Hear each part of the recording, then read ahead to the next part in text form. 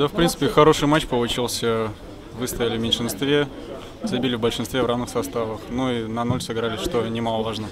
Насколько это было вообще принципиально сыграть именно на ноль? Разговаривали о том, что надо помочь Андрею Корееву. Ну, играли как бы, старались играть первым номером, но уже в третьем периоде Николай Леонидович дал установку, что помочь Корею сыграть на ноль. А, свои первые набранные очко в КХЛ сегодня набрал. Как твои эмоции, ощущения? Конечно, поздравляем тебя. Спасибо. Да, эмоции только положительные. Больше нечего тут говорить. Ну, там такой проход у тебя получился. Все получилось, как задумал? Ну, не совсем. Там Саня отдал, я выиграл один в один. Хотел бросить там с неудобной, но у меня Саша немного. Ну, хорошо, что Гемат накатился там, вторым эшелоном и добил.